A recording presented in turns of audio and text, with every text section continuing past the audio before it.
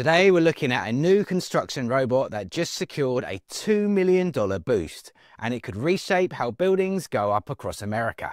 Buildroid AI, a robotics startup backed by investor Tim Draper, has just launched its first AI-powered block laying robot. Founded by Slava Solonitsyn, the same mind behind Mighty Buildings, which raised over $100 million.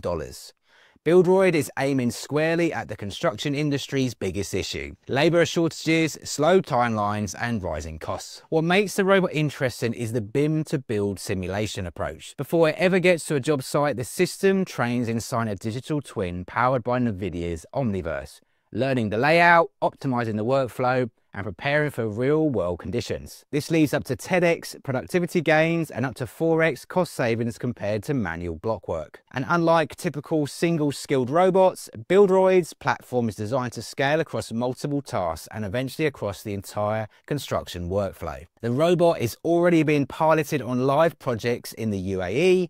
Soon it will work alongside autonomous mobile robots that deliver concrete blocks directly to the block laying robot reducing the need for manual support and speeding up the entire process. Here's why this matters to you. As this technology grows, US construction could see faster project schedules, more affordable builds, and more predictable timelines.